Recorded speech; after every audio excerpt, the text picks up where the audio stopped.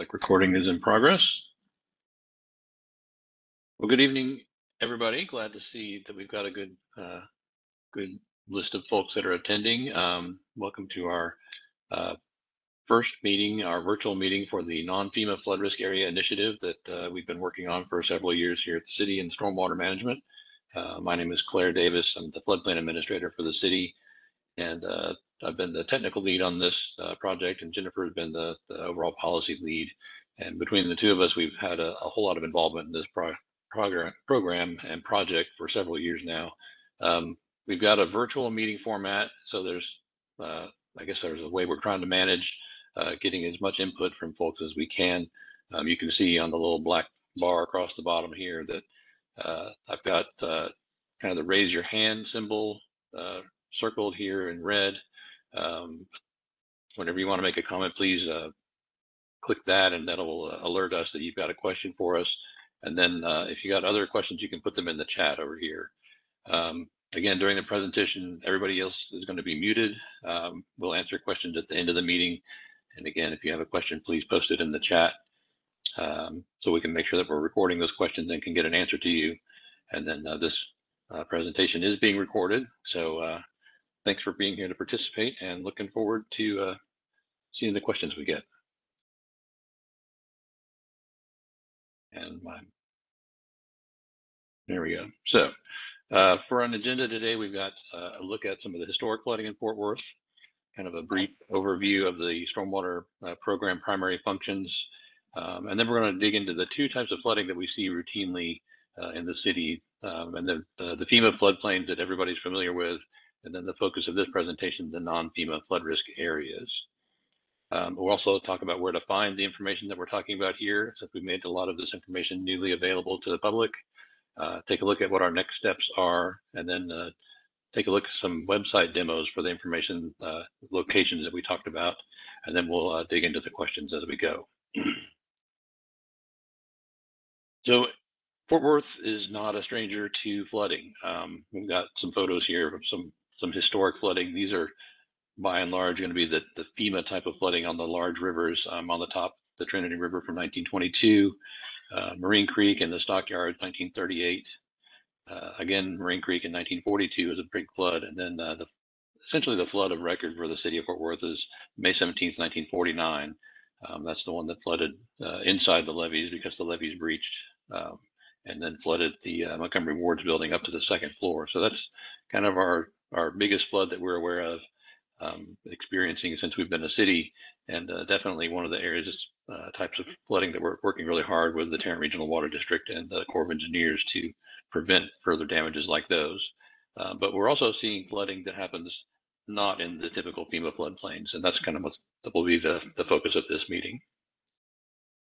Um, big picture of the stormwater uh, division's mission statement is to protect people and property from harmful stormwater runoff. Uh, we've got a couple uh, examples here. On the left is a, a FEMA type floodplain uh, that has overtopped the road and caused a real hazardous situation there. Um, you know, vehicles can get swept off the road if the flooding is deep enough. So um, those are, those are a type of flood risk that we're trying to be wary of. And then on the right is is a situation more indicative of the non-FEMA floodplain that we've been talking about. Um, this is uh, in a neighborhood kind of south of the TCU area, and uh, for all intents and purposes, it looks just like a floodplain. Uh, it just doesn't happen to be on a map. For primary functions of the utility, uh, we have really four main ones that we work on. Uh, we maintain maintain our infrastructure, which consists of pipes, channels, those kind of things. Uh, we mitigate hazards, including flooding and erosion. we warn about the hazards, also for flooding and erosion, and then we review development uh, so that it complies with city standards for drainage and uh, those kinds of things. And I uh, got some photos of the types of things that we're talking about here. Uh, the maintenance side has some of our uh, debris removal trucks. we've got a detention pond in the in the center bottom, our stormwater criteria manual on the right, and then part of our flood warning system on the top right.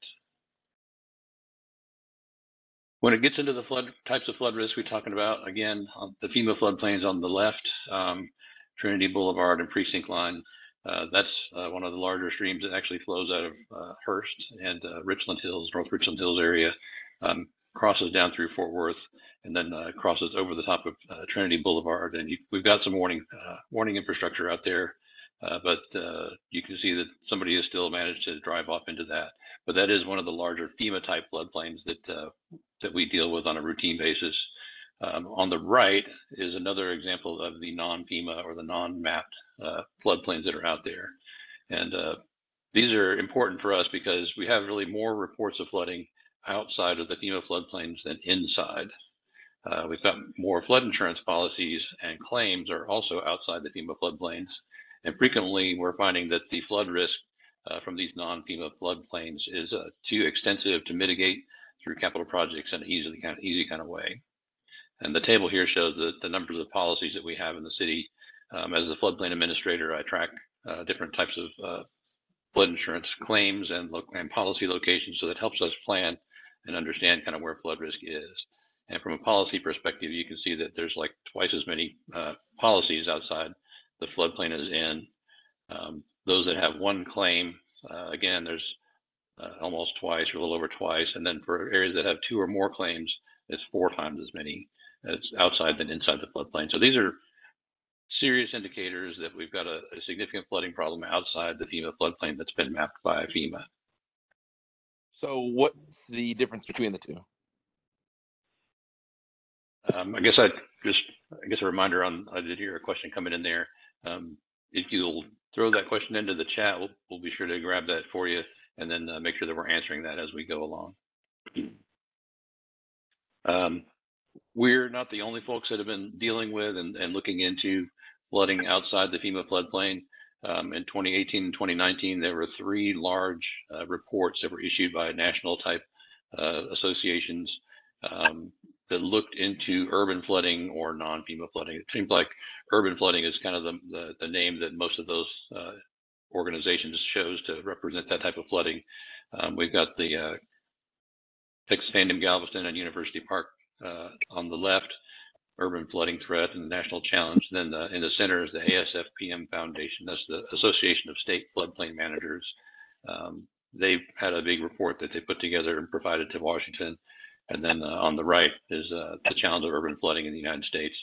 Uh, and that's just an example of those types of reports that were prepared in the same timeline that we were starting to dig into this same issue. So we were also lucky to be involved in those uh, reports as well.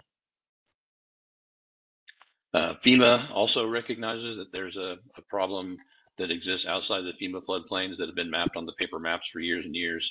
Um, they've created this new tool called the Estimated Base Flood Elevation Viewer. Um, it uses the, a similar kind of uh, technology to understand the flood risks, risks that are outside the FEMA floodplains on the paper maps uh, for areas that are not mapped. And that's really helpful for uh, cities and communities that are uh, trying to deal with development coming into these areas uh, to help prevent those areas from being flooded or damaged uh, as a result of uh, flood type events. But uh, without some sort of mapping, to know where the floodplain is, uh, those those developments could happen in a place that was really um, at risk of flooding. So this is a very helpful tool that FEMA came up with. Um, other cities in our area include city of Dallas that has a similar mapping product that they use to uh, understand flooding that's going on outside their floodplain maps. Uh, the green on this one is the Mills Creek drainage basin, and then the kind of the orangey yellow is the Peaks branch, uh, two different basins, but they're nearby uh, within the city of Dallas. And they also use this information to help uh, scope uh, different capital projects for different parts of town. And then finally, the city of Grand Prairie um, has citywide drainage master plans that they have prepared to show the same kind of flooding that's going on outside the FEMA floodplains. And um, I used to work for the city of Grand Prairie, and I know that it's it's very flat in, large part of that city. Um, and so you end up getting a lot of this kind of widespread, real shallow flooding, like you can see on this map here. There's there's the deepest spots are actually in the streets where there's you know, some sort of conveyance system, but uh, they do have this uh, type of product for their whole city. Then uh, again, for us, we've been really working very hard with a variety of stakeholders. Uh, since 2018, we, we really kicked off this project and uh, we really put together a pretty robust stakeholder group. We had a bunch of residents, uh, developers, property owners, uh, engineering firms, and insurance companies uh, title insurance lawyers and commercial and residential lenders and surveyors all helped to understand what that risk looked like. Um, we also worked with different groups like the Tarrant Appraisal District, uh, the Association of Realtors, uh, Real Estate Council, Builders Association, Development Advisory Committee, City Council, Planning and Zoning Commissions, and then other city departments who would have a stake in trying to understand this type of risk. Uh, when it comes to really looking into what our our projects or this project was going to try to provide, the, the three main things that we came up with were there were some concerns about uh, how we were dealing with this information or how we wanted to deal with the information. Um, from a big picture perspective, we wanted to be able to provide some maps to show where the the, the flood zones were located, um, and then uh, also communicate the risk and then regulate the risk ultimately. And then, as part of those discussions, we came up with what were the biggest concerns that these individual stakeholders had. Um, on the mapping side, the biggest deal was um, let's call it something other than a floodplain. Um, when people talk about floodplains, when they, people hear floodplains, they think about FEMA and then uh, potential insurance requirements, those kinds of things. Um, that was a, a, significant hurdle. We wanted to make sure that we, we cleared on that. Um, we also wanted to make sure that there were, we were clear about our maps not being a requirement for flood insurance. Um, that's that's sort of an interesting topic because you know a lender can require flood insurance at any time. Uh, it's up to them to require that, uh, except when they're when there's a property in the floodplain, and that's that's the only time that it's mandatory. If it's in a FEMA floodplain, then uh, you know the, the flood insurance is required for any kind of property that has a, a federally backed mortgage. Um, and at the end of the day, we on the mapping side, we uh, came to learn that as people become aware of the uh, the flood risk, and as people become aware of you know how to find this information, uh, there would be less confusion about how these maps were shown, and less uh, real concerns about um, how this this type of mapping could influence real estate transactions. On the communication side, um, the, the, main question was how will uh, how will this impact property values. Well, there's a lot of, I guess there's a lot of information that goes on with property values and flooding. Um, you know, if you're a resident of Houston or Austin, you know that that flooding is is kind of a frequent occurrence in those areas, and so it doesn't have a big influence on property values there. Um, we also found here, dealing with our own own situations, that there's a wide variety of factors that go into property values. Um, the biggest one that we found was you know evidence of actual flooding was the thing that really affected property values most. It wasn't so much the way that this uh, these flood areas were being communicated or mapped that was going to really affect property values. And then finally, um, on the regulatory side, if we if we want to do something that helps uh, prevent future damages uh, by either new developments or redevelopments in these uh, potential flood-prone areas, what what does this what do those recommend what do those regulations or potential regulations do to uh, impede development? And realistically this is a new policy that is only going to apply to those developments that are one acre in size or less. Already uh, any kind of development that's one acre or larger uh, already goes through a, a fairly rigorous uh, city review process for stormwater management. Um, there's there's kind of this loophole that exists for those properties that are less or projects that are less than an acre. And what we wanted to do is, is try to provide some sort of notice to those property owners and, and developers so that as they came in with their smaller project, they were made aware of these types of risks and could then deal with the risk uh, as part of their project planning. And to really do that, we're, we're looking to have some sort of a, a compliance uh, certification to, to show that they've been made aware of it and that they're dealing with the risk appropriately. And that the kind of the biggest perk here for us is that you know, all of this is going to be managed at the local level. There's not going to be any sort of FEMA issue. Um, we feel like that's going to be the way that would be most flexible uh, for those kinds of situations. What's going on here? Oops. Oh, I guess there's another thing here. Um, we dug into the potential impacts on building permits uh, that would that would be affected by uh, any of these uh, concerns. And what we found is that between May of 2021 and May of 2022, only 12 commercial permits and 20 residential permits would have been affected by uh, this type of uh, outreach and communication uh, when it comes to the these non-FEMA flood risks, how we want to deal with them. And what that means is that out of 19,000 permits that were issued by the city during that one year period, only 32 had any sort of interaction with one of these flood type areas. So it's not a big number, but it, it could be potentially important to those uh, those permits and projects that are developing. And so, what does what does it look like? What are we talking about when we talk about flooding that's outside the FEMA floodplain? Um, just like on that other um, other uh, photo that I showed, if you've got a bunch of flooding and a bunch of water that's collecting in uh, residential areas This um, a or joke. any commercial areas, this is the kind of thing Oh, that it we're is. seeing. It, Your it offense. is functionally um, very similar to a FEMA floodplain uh, by the way that the water accumulates. But if it's not on the map, then there's no way for you know uh, people or businesses to be aware of this kind of situation. So this is just some examples of, of flooding that we've seen across the city. Um, some other examples are here. Uh, these are you know taken from uh, social media accounts that uh, we were made aware of, kind of showing you know water flowing outside the stir crazy baked goods uh, offices, and then you can see how kind of the high water line on those vehicles that got you know almost as high as the wheels there, and then other vehicles across the street there potentially getting flooded from those uh, that kind of runoff. And this is a, a video. uh, Hopefully, it will run here. This is the Paco's Mexican Cuisine on Magnolia Avenue. This is one of the areas that we have uh, mapped as a uh, potential flood area. And you can see this is, I mean, the whole street, Magnolia is a Oh wide my street. God, phenomenal. Just great. And uh, we've got basically curb to curb, full width of the street that's, you know, probably close to a foot deep. It's a, a significant amount of water. And uh, this is not the only location that we have something like this going on.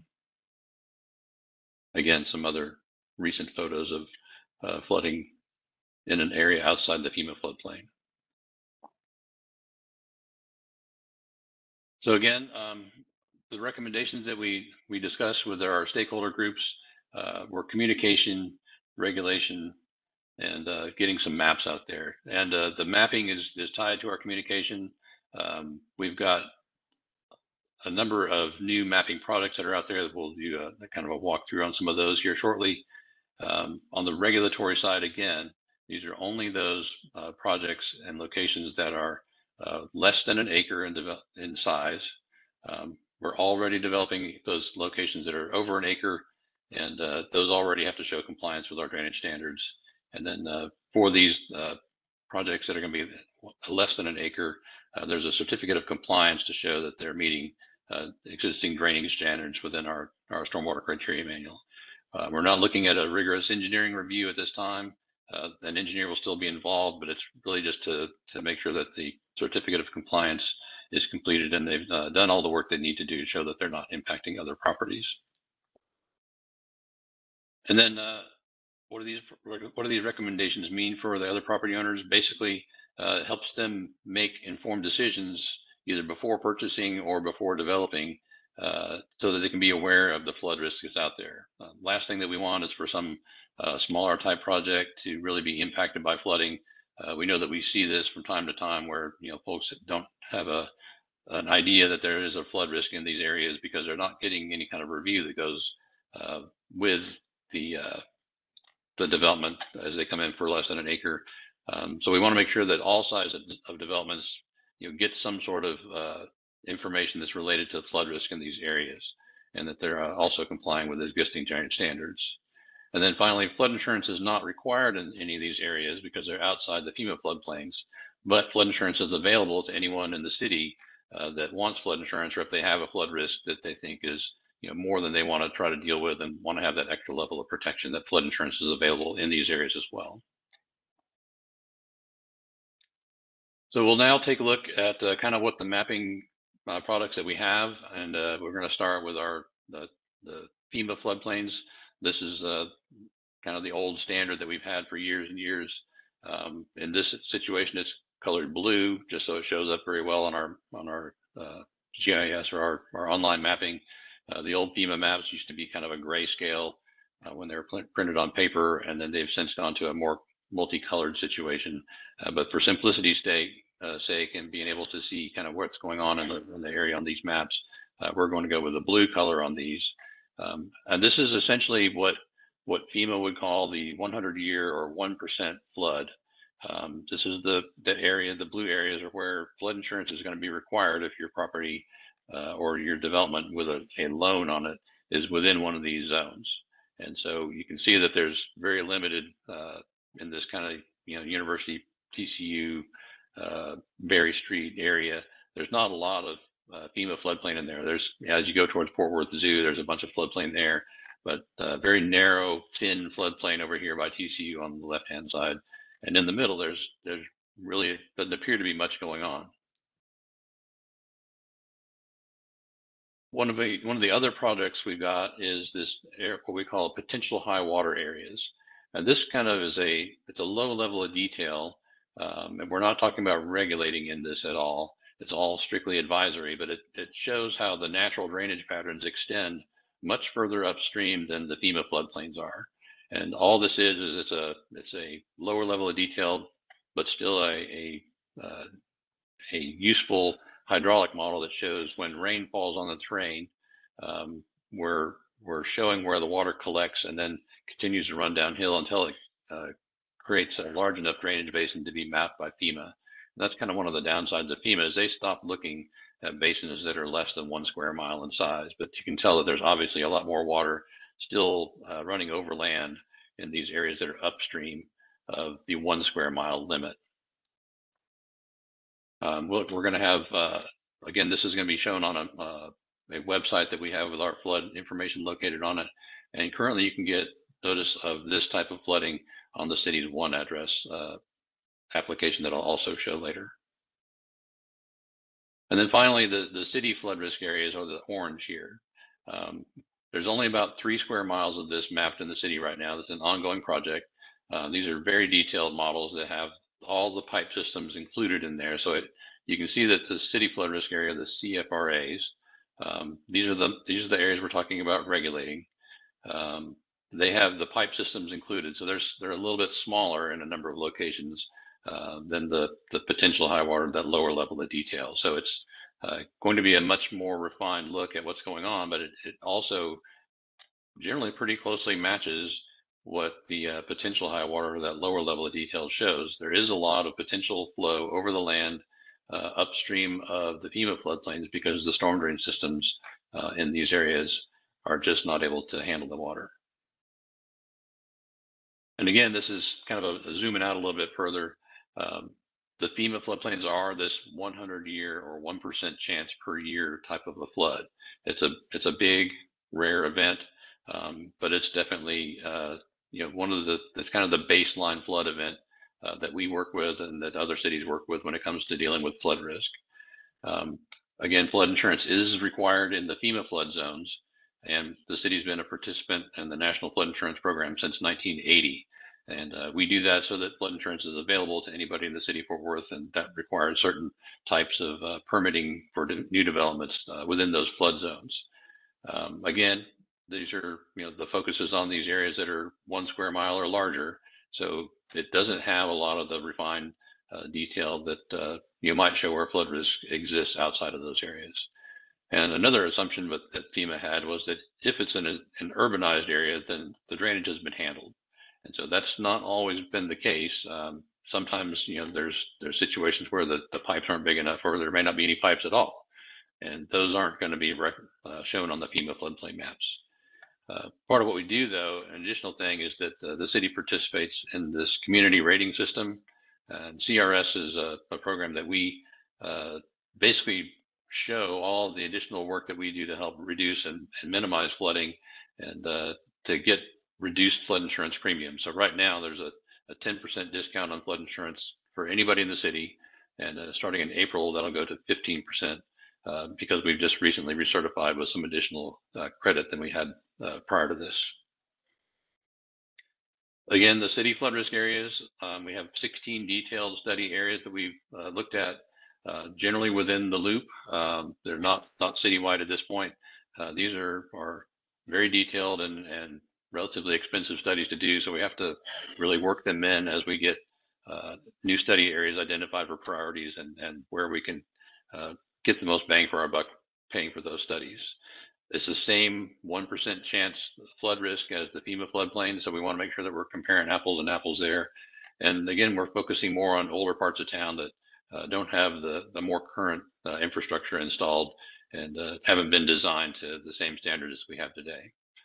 And again, the, the goal here is to help, uh, we want to be able to prioritize future capital projects um, and uh, understand what the flood risk in these areas, but uh, there's again not going to be a flood insurance requirement in these areas. None of these orange zones uh, would show up on the FEMA map at all, and so um, the the flood insurance premiums in those areas should be lower.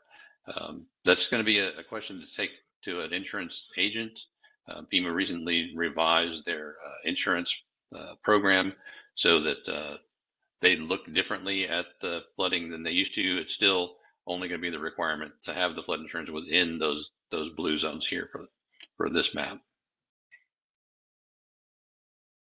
Then on the on the potential high water, this is the kind of that lower level of detail I mentioned. Um, again, you can see there's there's potential flood risk outside of the city flood risk areas that uh, that we have the detailed study for. And again, that's that's going to be a limitation of the information that we've got available. There's there's only so many areas that we've studied at this point with the, the real refined information. But the, the lower level of detail still provides a very useful look at what the natural drainage patterns are and uh, where water is flowing as it works its way downhill. And so the potential high water uh, product will be really useful for folks that uh, live outside of one of those city flood, city flood risk areas or the FEMA floodplains if they want to really understand what the natural drainage patterns look like and uh, kind of what their flood risk might be if they had any questions about that. So why do we have all these areas that are, are flood prone uh, that are not on the FEMA floodplain maps? Well, the, the main indicator for us is undersized or obsolete storm drain systems. And this map kind of shows that same kind of green neighborhood boundary that we looked at in the previous maps, uh, but with a little more detail related to the storm drain systems. And you can see that some of those storm drain systems were put in in the 1920s. Um, there have been areas that have been updated over time, you know, from the 1970s, 80s, and 90s. Uh, but there's there's just a lot of a uh, lot of the storm drain system that was constructed early on when those areas were developed first uh, that's still in place, and that's going to be one of the ongoing uh, challenges for us as a utility is to uh, how to manage these these older storm drain systems and get those things updated as we can over time. And this is a that's that's really one of the things that we really want to understand how the flood risk is affecting these areas so that we can plan our, our capital program around those. And this, uh, I'll flash back a little quick. This lower storm drain system that has 1997 on the left and uh, 2020 or 1921 on the right. This is the, the plan set from that storm drain system right here. This is from the 1921 improvement project uh, where they went in and installed a new new pipe right down the street. It says Robert Street. That's that street name has been changed. This is in the Ryan Place area. Um, and then you can see kind of that squiggly line that runs above the street there where it says ravine. That's that's the old stream channel. Um, when these neighborhoods were laid out, there was there were frequently situations where there was an old stream channel that uh, ran uh, not exactly in line with the street systems out there. And sometimes that's where water still wants to go. And so that was a, an issue back then. It's it's still an issue now that we're still trying to work with. And then on the other red box, you can see where they're replacing a 10 foot wooden inlet with a 10 foot concrete inlet. So even though this was an improvement project, they didn't improve the drainage. They just improved the materials in some situations to make them more durable. And uh, in some locations, we're still dealing with some of those same old pieces. So three ways to find this flood risk information and put it to use. Um, like we again, I mentioned the one address, which is on the city's uh, main web page.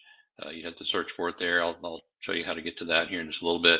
Uh, basically, that's a location where you can find any kind of information related to uh, your address and then what's going on around it. It's it's got a location for building permits. It's got you know some crime statistics. It's got different council districts and trash pickup days, all kinds of things, including uh, if there's FEMA floodplain or uh, the potential high water areas in that location. Um, we also got the FEMA Map Service Center where you can see the actual FEMA maps. If you have any questions about whether or not your your property or project is affected by a, a FEMA floodplain, and then the new uh, Fort Worth Flood Risk Viewer that we'll take a look at here. On uh, the one address application, uh, we've got the, the, web link up the top there, one address.fortworthtexas.gov. Um, when you put in your address, that's you'll get this kind of informa information right here in the reference section. Um, within 50 feet of a FEMA floodplain, um, that's because we have a, a buffer on all of our FEMA floodplains to, of 50 feet so that people within that area will have an idea that those floodplains are nearby. And then uh, the little I button there will give you a pop-up statement statement over here on the right that's talking about uh, the FEMA floodplains, you know, what they're based on, where they're located, where to get more information on those. And then also the potential high water with a similar little pop-up button for the mousing over the eye. And uh, basically it describes the, the type of flood risk product that we prepared and uh, generally talking about drainage patterns and uh, how to be mindful of those as you're uh, working in your, your area of interest and who you can contact for more information. This is a kind of a screenshot of the FEMA Map Service Center. Um, again, their, their web link is uh, relatively simple, msc.fema.gov. Um, that will uh, take you to this location where you just pop in your address uh, right here, and then uh, it will take you to the appropriate FEMA floodplain map that shows uh, what's going on at, at, that specific location. It's not going to take you to the exact location, um, but really close to it, and it should have a pin to drop right on it. Um, just want to make sure that you're paying attention to exactly where it is. It's on the map there, and uh, it'll give you a good good idea of what the FEMA floodplain maps look like nearby. And then again, our flood risk viewer, which is a new mapping tool that we created. Um, it's available and live now. It's got a long link down here at the bottom, but uh, this uh, QR code over here on the left will also take you right there if you scan that with your phone. And uh, this is an example of the type of information we have there. There's the FEMA floodplains on the lower right, and then they tie into the city flood risk areas, that orange zone here on the left. And we'll be adding the potential high waters, those pink flood zones, uh, as soon as that information is available, is being refined right now to be a little uh, smoother and more useful looking than uh, the pure model output that we had uh, up until now that I've shown you other other maps. That, that when you zoom in on it, it looks a little little ragged on the edges, but we'll have it smoothed out, and that should be done by the end of the year, and we'll upload that to this map uh, site as well. And on this map here, I've got the Hazel Harvey Peace Center uh, highlighted in kind of green. Um, this is where our, our in-person meeting will be on Wednesday. Uh, just to kind of give you an idea of the types of information that's out there and how close it is to some of these other city facilities that uh, we use on a regular basis. Um, we also provide uh, outreach to the community in areas that have uh, flood risk in them through uh, physical letters that we mail out every year. Um, this is one that went out September of this year. Um, if you're in a FEMA floodplain or in one of the city flood risk areas, uh, a letter very similar to this was was sent to your address.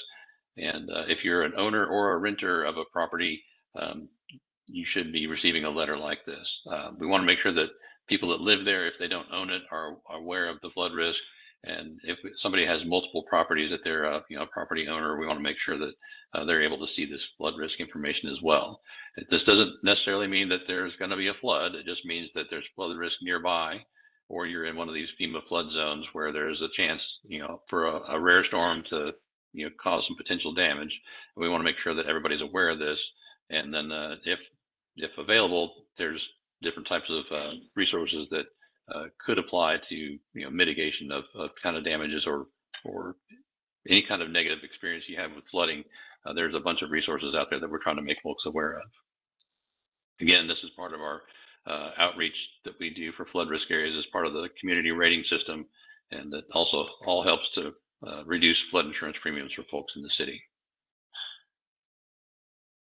For next steps, uh, we want to again uh, get our potential high water areas uploaded to the websites by the end of the year. Um, that that project or product is being refined right now. Um, we have regulations that are going to be uh, adopted by ordinance that we're targeting for the end of December uh, of 2022, and then uh, we'll start looking for those certificates of compliance starting in January of 2023. So these are all coming up fairly soon, and this is uh, really what we want to make folks aware of uh, as part of this meeting process. And so now uh, it's time for the demos. Let me see if I can stop sharing this and share what our demos look like.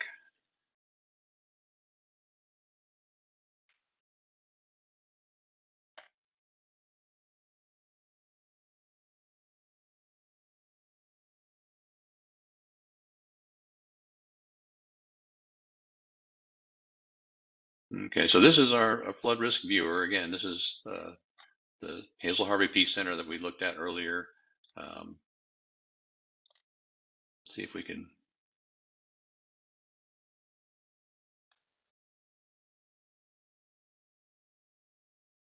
We put in any address here. There's a list, a list of tools across the top. Um, locate uh, you know an address here. If we want to do 200 Texas Street, which is City Hall.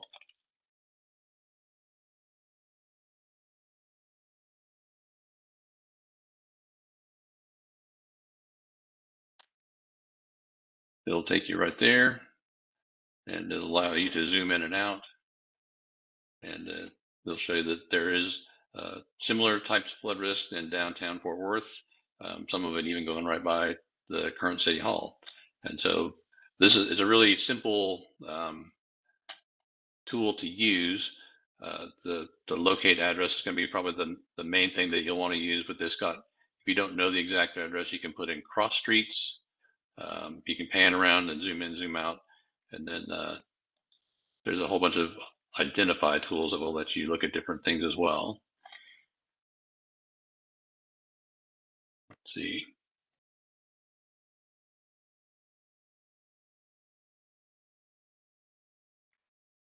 There's street information.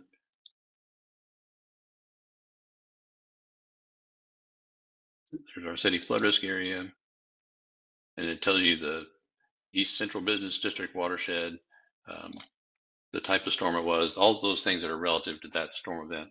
And again, if you zoom out a little further, you can see that it's the, the FEMA floodplains that run right through downtown or around downtown as well.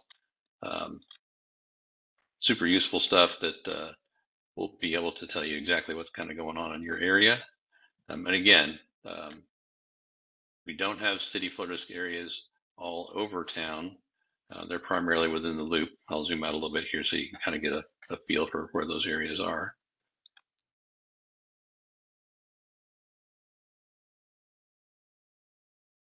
And it looks like, again, it's generally up to you know, the 183, a little bit further north, and then a little bit further south um, a little bit, and then over here in the Meadowbrook area, there's there's some other study areas that we've got. So not there's not tons of them, but they're out there and, and useful if you uh, live in one of those areas.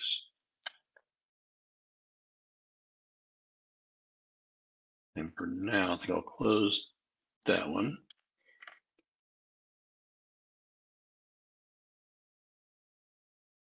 Let me find our FEMA flood risk area, FEMA floodplains. So again, there's the FEMA flood zones uh, can be found on the FEMA's flood uh, map service center. Um, again, just msc.fema.gov will take you here, add your address.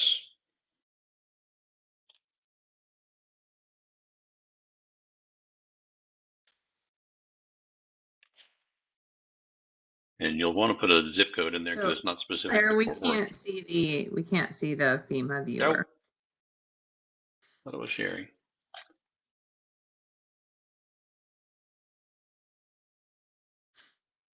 Dang it.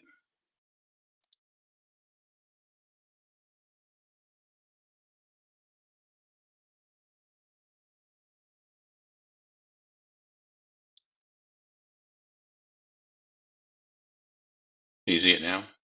Yes. Okay.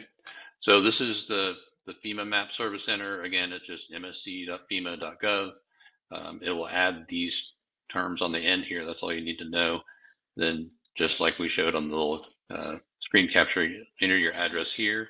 Be sure to include a zip code um, because the FEMA website is national. It's not built around Fort Worth like our flood risk viewers are. And then uh, it will take you to the appropriate map for that area.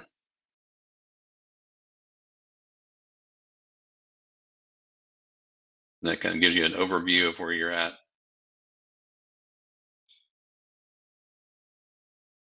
And I think we're still waiting for some additional products to pop up. That's one thing the FEMA Map Service Center is not fast.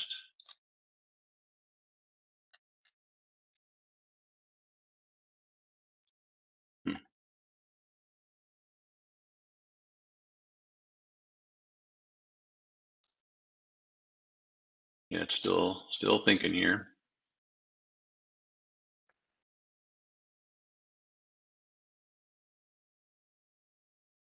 Guess while it thinks it might be good just to mention Claire in terms of FEMA, the FEMA website always has the most accurate, up to date information on the mapping.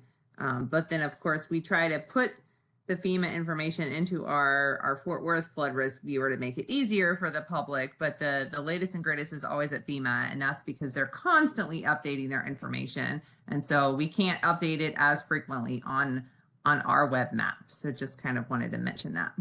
Yeah, that's a great point. Um, we update our FEMA data once or maybe maybe twice a year, but FEMA, like like Jennifer just mentioned, that they update their maps constantly. It doesn't mean that every location changes constantly, but the, there will be changes across the maps all the time. And now that we've got all of our other information on this one, what this is showing is that the current city hall right here is right next to the, a a map panel edge. So there's one map up here on the north one map to the south. Uh, this is our approximate location. You can see the selected map boundary down here. Oops. And then all this other information is related to different flood zones, uh, those kinds of things that are available. You can see those flood zones uh, over here on the left as the Trinity River goes through, and then different colors are different levels of flood risk. So the orange is going to be the, the 500 year, which is a FEMA product that uh, really they kind of focus on. We're more concerned with the, the 100 year, which is this kind of shaded blue and then the hatch color there. And you could also look into like a, a dynamic map, which has uh, a little more detail for you to, to kind of zoom around in um, and, and kind of investigate what the flood risk in your area looks like on the FEMA perspective on that map. And again, it's also not very fast.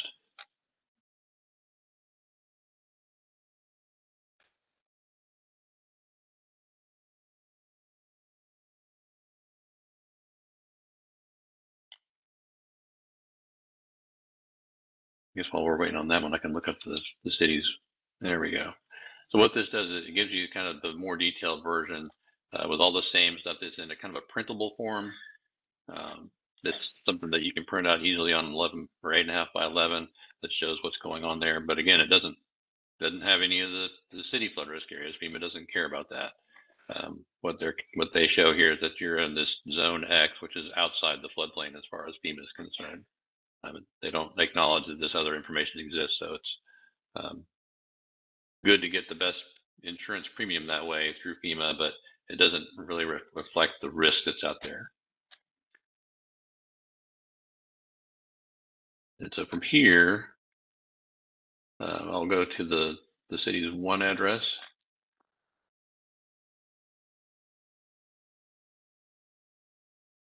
Oops. Go to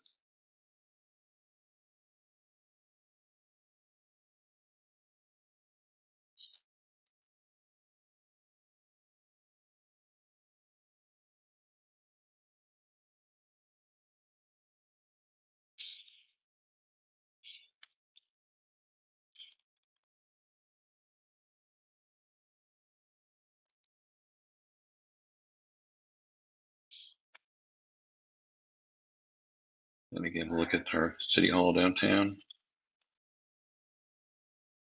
As soon as you start typing in the address, um, it will pick up uh, the the available addresses that are that are valid for that that uh, information you've typed in so far, and then you it'll base your search on that. So over here on the right gives you a, a map of the area. You can zoom in and zoom out. That really just gives you kind of a location of what's going on with different addresses that are associated with uh, those those areas that you typed in. And again, the location data, neighborhood profile, code violations, different permits, all that stuff is here. It's all really useful. Um, but when we what we're talking about is the reference section right here that talks about um, is it within 50 feet of a floodplain? FEMA floodplain? No. Is it potential high water? No. Um, but we're going to, going to be adding in the city flood risk areas, which will uh, be a new line within here. That should be done by probably the end of the year as well. And uh, that'll be a, little extra detail that you can get when you uh, go to the one address application to see uh, what's available out there. But all of these are pretty straightforward, easy to use. Um, some of them take a little time to load, so you want to make sure that you're being patient with them, particularly the FEMA stuff. Uh, all of the Fort Worth uh, applications are pretty quick, so it shouldn't be a real issue there. Um, but there's just a variety of information that's available to you. And one address is super useful for all kinds of things, not just the, the flood risk size, but um, all sorts of information that's useful for wherever you're at in the in the city.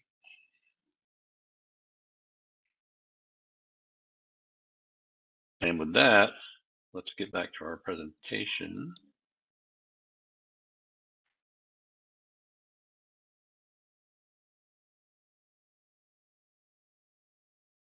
So we've completed our demos. Um, we're now at the at the point where we can start to take some questions and uh, see what uh, information has come into the chat.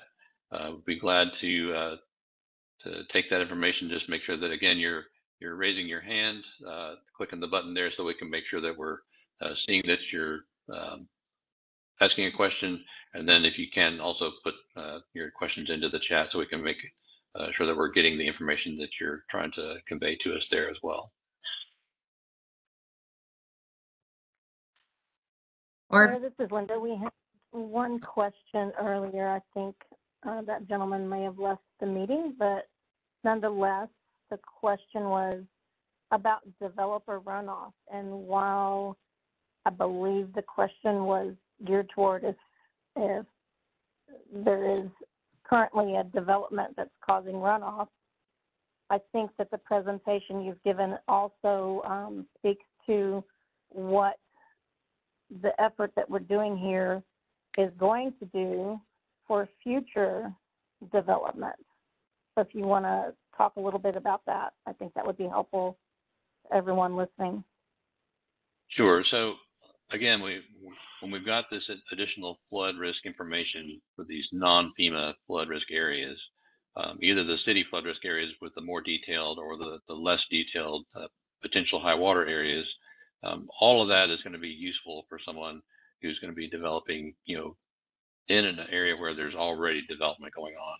Um, if there's you know, an existing neighborhood where where there's going to be a new project that comes in, um, whoever is developing the new project has access to this information to see kind of where the natural drainage patterns are that they might not have had uh, in prior years before this information was developed. So um, there's there's a bunch of work that we do as a city to try to help uh, ensure that uh, any new project that comes in isn't creating additional runoff that leaves the site in a way that causes harm to adjacent properties uh, but if those projects are smaller than an acre, they haven't been getting reviewed. So this will be a way for us to help close that gap, um, and then look at those uh, those smaller projects that are you know going to have water running off you know either more or or than than anticipated or or they wouldn't even know that uh, they're increasing runoff or has a drainage problem out there. So uh, this will help inform those developers and also help people that live nearby there understand kind of what's going on and what those drainage patterns look like.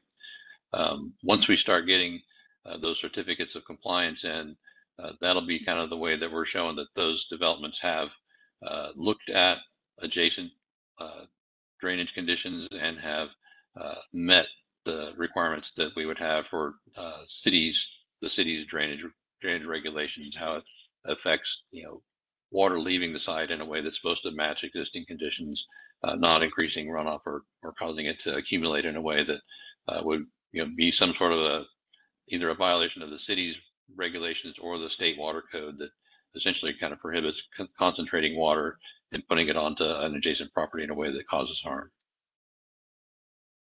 So, and just to touch on that a little bit differently is we get a lot of calls at the city from uh, developers or residents or property owners that are just often surprised it rains and then they realize, oh, there's flooding in the in the area or their property.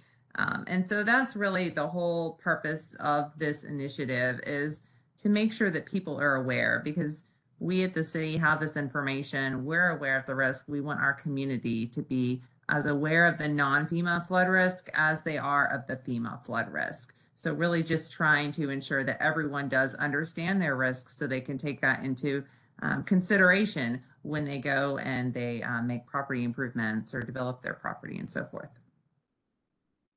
That's right. The, the bigger projects are going to have to already go through those of, types of uh, checks and balances. Um, they're going to have engineers on staff that are going to really understand how to make all that work. And it's really these smaller ones that have kind of less flexibility and um, how they develop and where they develop and may not have the resources to really get um, as many engineers involved in their project as they would have as a larger project. So we want to make sure that all those folks are, you know, kind of have the same benefit uh, to receive uh, from this type of flood risk that's out there now. So as a bit of a follow-up to that, Ms. Mary Kelleher is asking uh, Claire or Jennifer, why does the city continue to permit development when the city knows they don't have adequate infrastructure or money to fix it?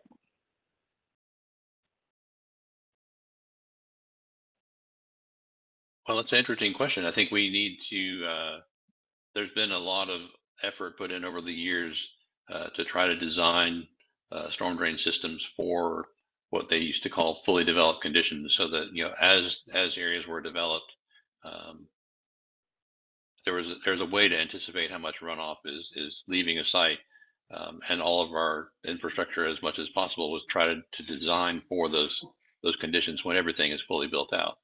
Um, I think the, the downside of, of that assumption was that there's a lot of parts of town that were uh, developed before those regulations were in place. So we're really trying to understand uh, how these potential infill type developments can affect, you know, storm drain systems that are in these older neighborhoods, and also look, you know, further downstream where there's, you know, maybe no storm drain system. Like I know that Mary lives on the the east side of town, so there's a lot of large Trinity floodplain that's out that way, but also other streams that drain into that area.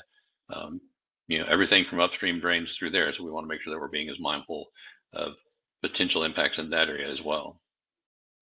So to touch on that a little bit more in, in a different way is is we do have um, we have very good drainage uh, regulations at the city of Fort Worth. Uh, they are based on generally accepted engineering practices, and um, they a lot of them come from the um, North Central Texas Council of Governments, which is a, a group that kind of oversees and provides recommendations across the Dallas Fort Worth area uh, in terms of development and drainage and environment. Um, and so, so our standards are based off of a lot of their recommendations. Um, and we do understand that there are gaps in our standards, and that's one thing that we are continuing uh, to work to address. And so, this non FEMA flood risk initiative was the very first initiative to really try to address the gap in our drainage standards in terms of um, the flood risk communication for non FEMA areas and then regulating those areas um, less than one acre uh, where we understand that flood risk in detail. So the second step now is that we're going to be taking a, a look at cumulatively the whole impact of development on flood risk and taking another look at our standards now in a different way to see if we should be updating them and how we can update them to better protect existing residents due to development um, and increases in impervious cover and so forth. Uh, so that is a, a second step uh, that we have identified that there is a need that we want to take a good look at our development regulations Uh, because of course we do want to continue to grow and develop, but we want to do so in a safe and sustainable manner.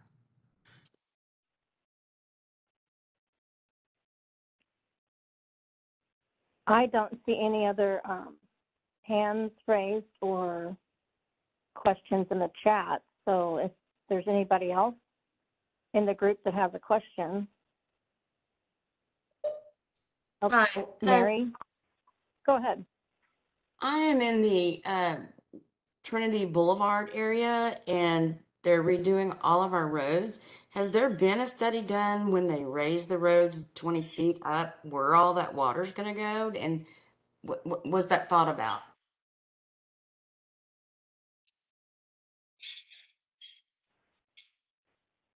Well, I'll, I'll take part of that. I know that there are engineering plans for uh, elevating the road up there because that, that road floods uh, kind of east and west of precinct line. That intersection, there's there's serious flooding problems on Trinity Boulevard. So the the primary area that's getting elevated is west of precinct line, and so there have been looks at how that drainage is going to be managed uh, to get it from one side of the road to the other because it all generally drains to the south down towards the Trinity.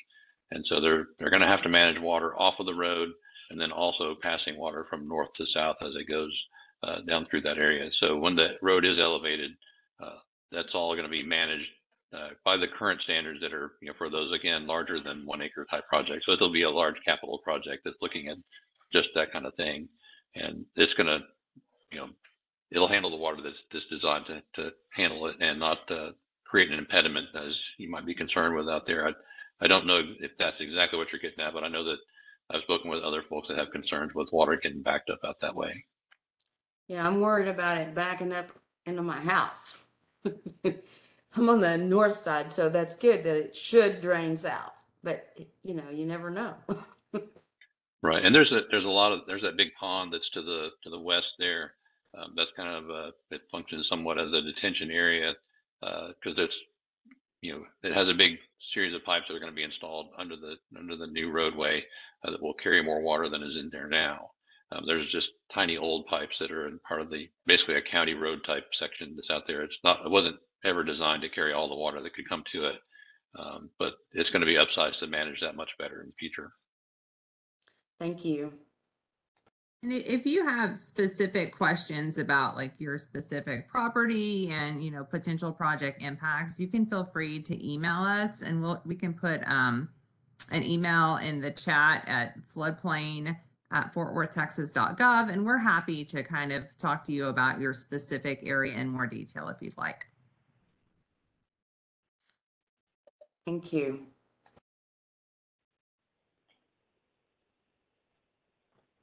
And so um, Haley has a question. I'm assuming Haley Sampson, um, who we've been communicating with, is asking the question, um, is there a timeline for how the city plans to study cumulative impact of development? And Haley, I know that we've um, gone back and forth and we thank you for participating in this meeting to learn more. And um, it is the thing that we'll be doing next. Uh, we've been working on it, but we've been working intensely on this project. So I'm gonna let Jennifer and Claire kind of answer your time frame question.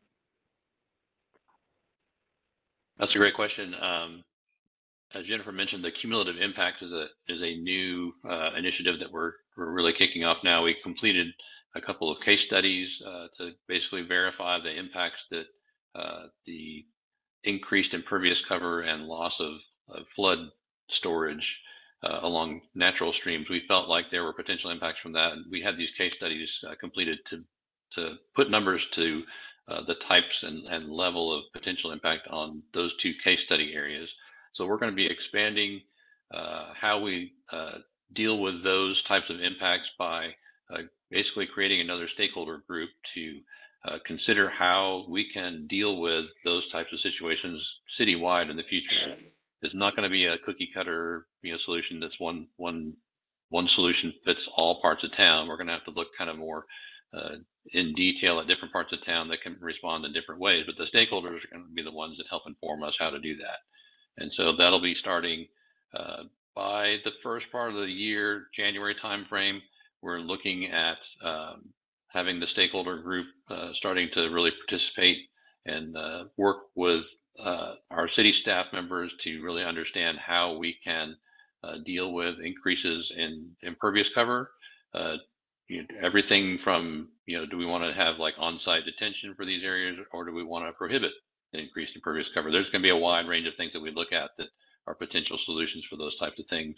And then also looking at the lost flood storage for basically filling in floodplains uh, in different parts of town. So we want to understand both of those, and that stakeholder group will be uh, starting to function in the January timeframe, and we hope to be uh, hopefully bringing back some sort of results that we can take to the council as recommendations for uh, either engineering standard or zoning uh, classification type uh, revisions by probably the middle of the year.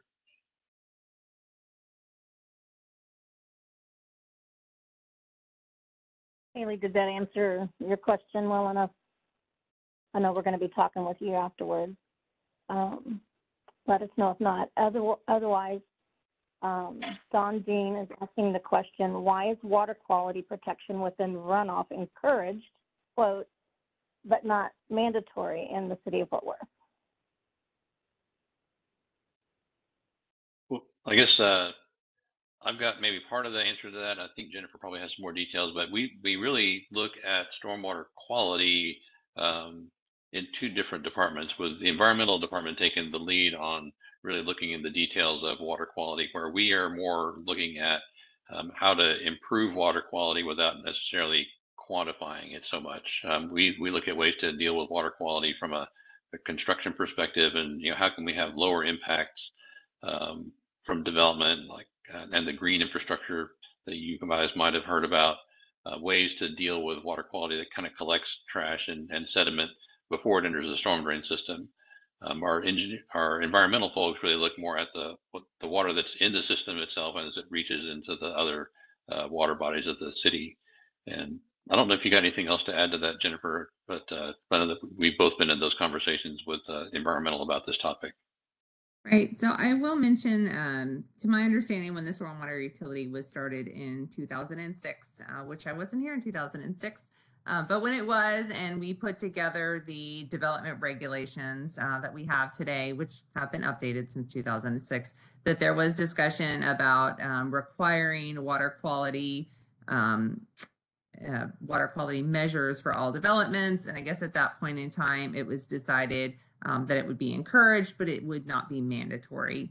And so at this time, we don't have the mandatory requirements for final developments. Um, of course, for developments that are in progress, they do have to have uh, best management practices to um, control the um, the runoff with in terms of the erosion um, or the sediment sedimentations. Um, you know, putting those inlet protectors and so forth, trying to uh, prevent the uh, the runoff and the erosion, the, the sediment from leaving their site during construction practices. So we do have those for construction. Um, and then in addition, specifically, the Tarrant Regional Water District has specific water quality requirements um, right along the Trinity River for developments that are outfalling pretty much directly into the Trinity River. But those are, are specifically for the water district, their requirements. So Don, did that answer your question about specifically the construction runoff perspective? So I'm looking at I'm looking at her follow up. It says I'm talking about from a construction runoff um, perspective, and so so we do have construction water quality best management practices that are required during the construction process. And we can we can call and and talk to you. I, I know um. Dean that Stephen's been talking with y'all, and so we can follow up if you have more specific questions about our current regulations. And then um, we have another question in the chat from Ms. Mary Kelleher, which is why doesn't the city consider slowing down development until you have the infrastructure to support it? So to me, I, I would say that goes back into we've got we've got good development um, criteria, and we right now at this time I, I'm kind of scrolling back up in that chat too, and I see that there's one. Will the city start taking volume into consideration? now that the city knows it's a problem by not taking it into consideration. And so, so right now we can't, we don't have the regulatory means to make uh, developers do something different about volume. We have to have that um, pass through city council to require that. But we do know, uh, based of our recent cumulative impacts evaluation, that there can be impacts. And that's why we're forming the stakeholder group that Claire discussed um, a few minutes ago, because we want to take a detailed look at the issues and what could be done to mitigate those through through development regulations. And if we come up with the changes, those would have to go to city council for approval.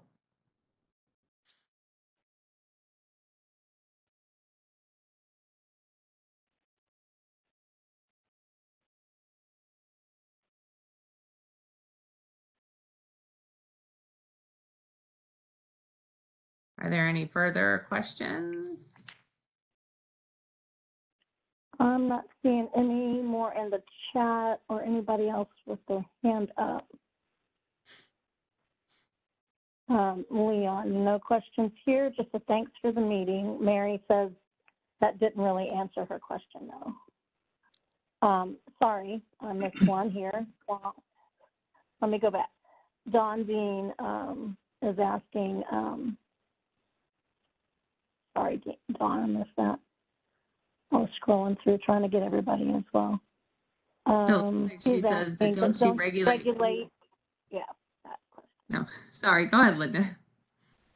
Yeah, uh, Don Dean is asking, but don't you regulate and enforce TCEQ regulations?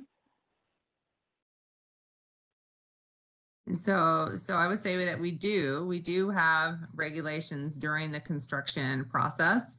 Um, and those are, uh, governed and enforced by our code compliance department.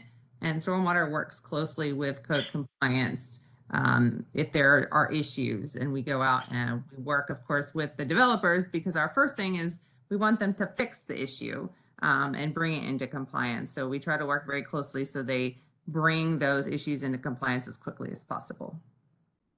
And Stephen added some additional detail in the chat about that. Oh.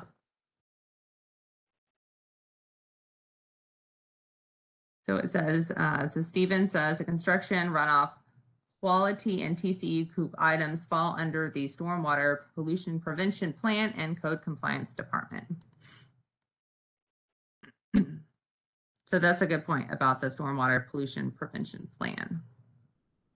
And I guess if you see problems with, with, you know, some BMPs not functioning, like if the, the silt fence is down or if the, you know, there's a bunch of sediment getting washed out into the street, that's all something that you can call code enforcement about and they'll come check it out pretty quickly. So I know that they, they're very active about getting out in the field to try to understand those uh, problems and get them rectified as soon as possible.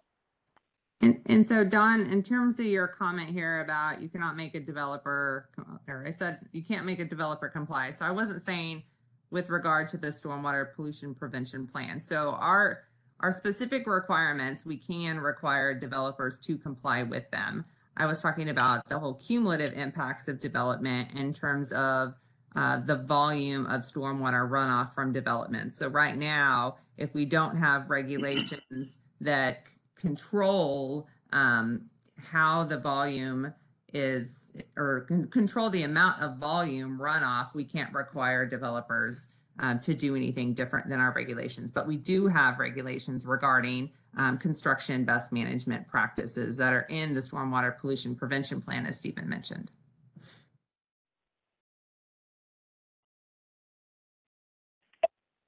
And Mary has added a follow-up comment in the chat.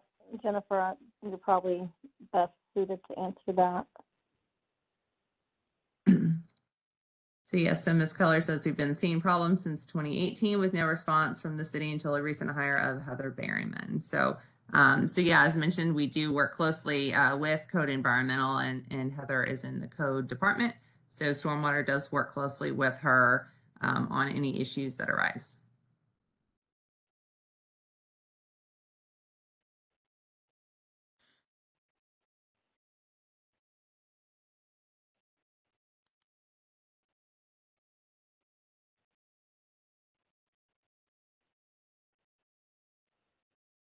Other questions or any other questions in the chat from anybody?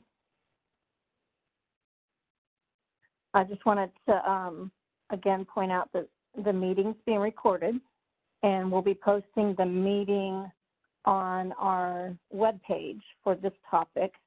I did post that earlier, but let me go ahead and copy and paste it again where you can find that webpage.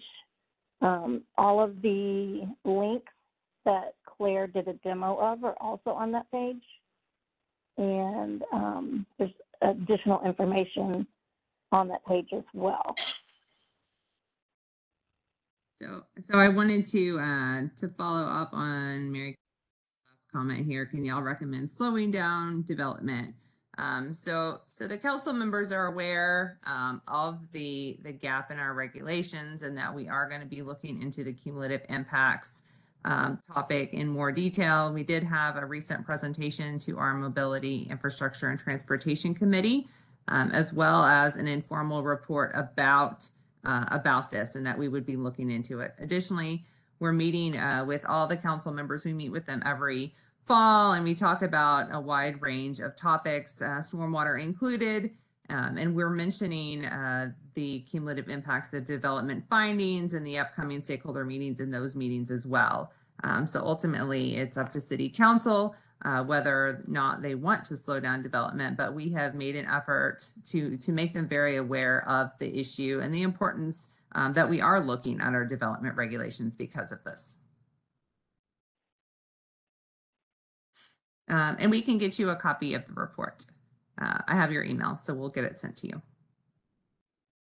As well as the uh, informal report that we gave to council, which is a much easier read.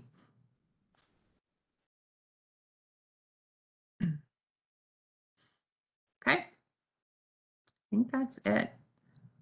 Well, thank you all for joining us. I really appreciate it. I'll stop sharing and that's all we've got then. Great. Well, thank you all. Good night. Thank you so much, Clara, for presenting. Yep. Thanks, Bye. everybody. Thank you.